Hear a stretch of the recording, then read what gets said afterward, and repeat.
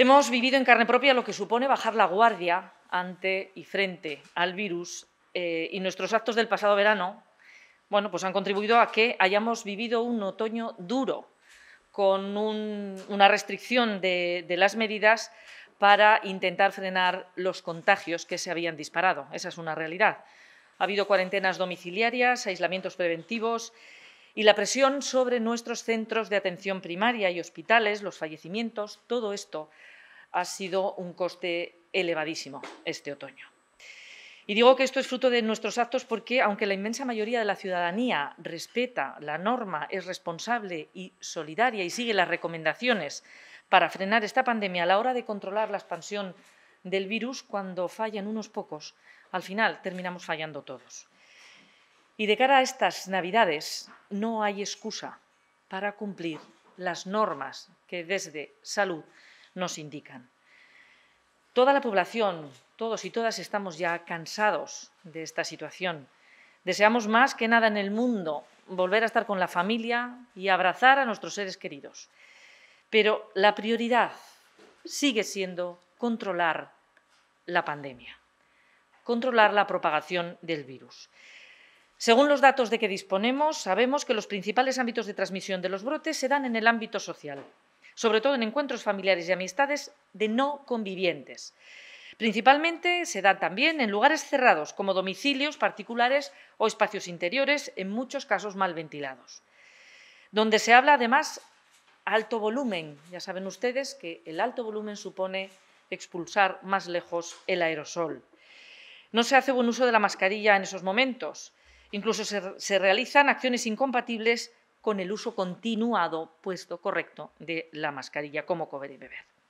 Si a todo esto sumamos un elevado incremento de desplazamientos entre los territorios, nos encontramos ante una amenaza real de sufrir con dureza una tercera ola antes de la vacunación generalizada, que por cierto vemos en un horizonte. Permítanme aquí detenerme en el matiz. Sufrir una tercera ola de pandemia antes de la vacunación, desgraciadamente puede que ya no sea solo una opción, pero sí sería una opción mitigar la dureza de esa tercera ola. Y esa está en nuestras manos. Ahora tenemos muchísima más información que la que teníamos en marzo. Ahora sabemos que para contener el virus una de las principales medidas es la de reducir, yo diría, eliminar la movilidad entre territorios. Esas son efectivas. Y, por supuesto, las que dijimos desde el principio, las medidas de higiene y seguridad personal. Estas funcionan y son efectivas. Por eso, permítanme que incida de nuevo en esas normas. El uso de la mascarilla todo el tiempo posible. El lavado frecuente de manos. Mantener la distancia respecto de otras personas. Ventilación constante en interiores. Y priorizar todas las actividades que se hagan en el exterior. Limitar el contacto social con personas que no formen parte de nuestro núcleo conviviente. Y por último, ante cualquier síntoma o contacto sospechoso, mejor quedarse en casa. El cumplimiento de las medidas, lógicamente, tiene que ser individual, pero también tiene que ser colectivo. Siguiendo las indicaciones del acuerdo por el que se prevén medidas de salud pública frente a la COVID-19 para la celebración de las fiestas navideñas, alcanzado por el Estado y las comunidades autónomas en el seno del último Consejo Interterritorial de Salud, esta mañana el Consejo de Gobierno de la Comunidad Autónoma de La Rioja y yo, como autoridad delegada durante el estado de alarma, hemos establecido de cara a estas fechas festivas las siguientes medidas de seguridad sanitaria. Se mantienen el horario de restricción de la movilidad nocturna actual entre las 23 horas y las 5 de la mañana, sin perjuicio de lo anterior entre el 24 y el 25 de diciembre y entre el 31 y el, de diciembre y el 1 de enero, es decir, Nochebuena y Nochevieja, el retorno al lugar de residencia habitual se podrá realizar hasta la una y media horas de la mañana. Se sigue restringiendo la entrada y salida de personas en el territorio de la comunidad autónoma de La Rioja a partir de las cero horas del día 19 de diciembre de 2020 y hasta las 0 horas del día 15 de enero de 2021, salvo por las causas hasta ahora vigentes. No obstante, durante los días 23 al 26 de diciembre de 2020 y 30 de 2020 a 2 de enero del 21, se permiten los desplazamientos a otros territorios que sean lugar de residencia habitual de familiares o personas allegadas, sin perjuicio de lo dispuesto por las autoridades de los territorios, de los distintos territorios. Las celebraciones entre familiares y allegados en Nochebuena, Navidad, Nochevieja y Año Nuevo tendrán un límite de 10 personas como máximo, salvo que sean convivientes, es decir, familias convivientes durante todo el año que superen los 10 miembros. Para la celebración de estos encuentros se recomienda que esas personas pertenezcan a poder ser al mismo grupo de convivientes y que no superen, en su caso, los dos grupos de convivencia, extremando, de nuevo repito, la precaución y cuidado del entorno, pero principalmente de las personas vulnerables a cualquier enfermedad, máxime a la COVID-19. A continuación, la consejera de Salud, Sara Alba, detallará estas medidas y otras más sectoriales cuyo desarrollo y detalles serán publicadas en el Boletín Oficial de La Rioja a la mayor brevedad para su consulta por parte de la ciudadanía. Y que nadie se lleve a engaño, ni estamos ni vamos a estar durante las próximas semanas en una situación de relajación. Todo lo contrario. Los datos nacionales de contagios del pasado fin de semana no los veíamos desde el pasado noviembre. La pandemia se encuentra en un momento crítico, en el que desgraciadamente se ha ralentizado esa caída que veíamos más en picado, se ha ralentizado.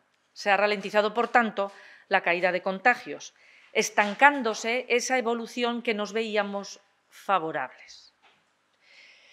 Pido, por favor, a todos y todas que cumplamos las indicaciones y respetemos las medidas de seguridad sanitaria, porque la presión sanitaria, la presión del personal sanitario, es ya muy elevada. Seamos responsables y no pensemos ni estemos dándole vueltas a algo tan básico como cuántas personas vamos a estar en esta cena, en esta comida, olvidémonos de eso. Vamos a pensar con cuántas personas vamos a contar las navidades que vienen de lo que hagamos este año, de lo que hagamos en, momentos puntuales como estos, va a depender en gran medida con las personas con las que nos podamos sentar a partir de febrero, marzo, abril, etc. No es el momento de relajarnos, no lo es. Independientemente del día que señale el calendario, no podemos olvidar que el coronavirus, desgraciadamente, sigue entre nosotros. Por este motivo, se prorrogan las medidas sanitarias de carácter preventivo actualmente en vigor para la contención del COVID-19, que han sido aprobadas por el Consejo de Gobierno en su día del 4 de noviembre de este año, en un principio hasta las cero horas del 15 de enero del año que viene, como bien anunciaba la presidenta.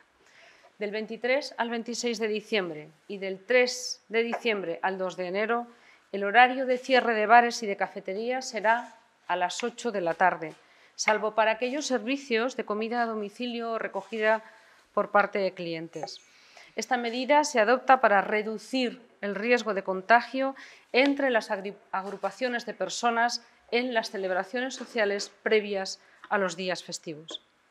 Tal y como viene sucediendo desde que comenzó la pandemia, no deberán realizarse eventos que no puedan asegurar el cumplimiento de las medidas de prevención sanitaria y que provoquen aglomeraciones o que tengan una elevada afluencia de público.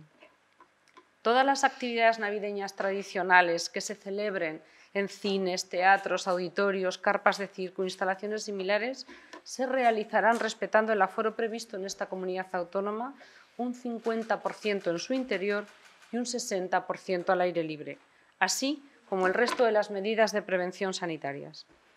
También deberán seguir las normas de aforo del 50%, otras medidas de prevención sanitarias como son las ceremonias religiosas en espacios cerrados. Para evitar los contagios se procurará evitar cantos y recomendamos que en su lugar se utilice música pregrabada. Y por supuesto, se recomienda organizar las compras navideñas con antelación para evitar cualquier aglomeración en estas fechas. También se recomienda a aquellos estudiantes o personas que quieran regresar a su casa en estas fechas que extremen las medidas de prevención 10 días antes de hacer el viaje y que una vez estando en casa limiten sus contactos y si se reúnen con otras personas lo hagan al aire libre. Está previsto que todas estas medidas aprobadas se detallen y se publiquen en el Boletín Oficial de La Rioja de mañana. Han sido acordadas tras las conversaciones que hemos mantenido en las últimas semanas con todas nuestras comunidades vecinas y con los estudios y con cada uno de los datos epidemiológicos de los últimos días. Estas son las medidas de la situación actual, pero la evolución epidemiológica, lo saben ustedes, es cambiante, como ya saben que lo es desde el inicio de la pandemia. Y por tanto, estas medidas que anunciamos hoy están sujetas a cualquier cambio que pueda llegar a producirse y si se rompiera la tendencia de los últimos días, actuaremos de manera enérgica y rápida para anticiparnos a cualquier dinámica negativa. Lo haremos en el marco de lo acordado en el Consejo de la Interterritorial, como hemos hecho siempre. Otros países europeos, como es el caso de Francia, Alemania o Italia, han llegado a endurecer las medidas de cara a las próximas semanas, debido, desgraciadamente, al reciente incremento de contagios en algunas comunidades autónomas ya se está advirtiendo cambios en la situación epidemiológica y sabemos bien que el coronavirus no entiende de fronteras y La Rioja no es una isla frente a esta pandemia.